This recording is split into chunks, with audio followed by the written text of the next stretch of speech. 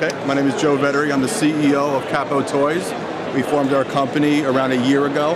Um, we have a new license now. We just acquired it in November of 2013 for Street Fighter. Uh, we're putting out uh, five new figures. The first one is uh, Sagat, Ryu, Blanka, Guile, and Chun-Li.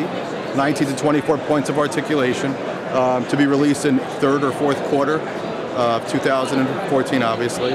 And also we're going to do our first exclusives at San Diego Comic-Con. Sagat has the um, cloth shorts, uh, silk-like cloth shorts, and Guile has a microfiber gi as well. And yes, that's going to be um, part of the manufactured product.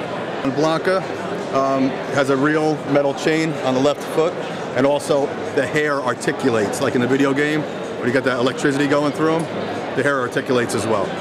Uh, the articulation, 19 to 24 points of articulation.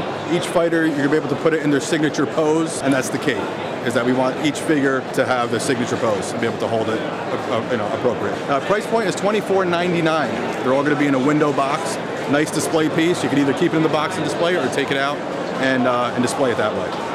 Uh, these are the first five that are coming out this year, and we're planning other waves, two wave, two additional waves each year.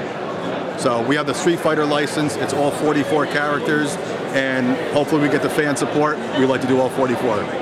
Yes, you can check us out on Twitter. Uh, go to capotoys.com. Uh, we don't have a Facebook page. Our only social media right now is Twitter, but figures.com and all the other um, um, media outlets are, are doing uh, or showcasing the items. So you can check it out there as well.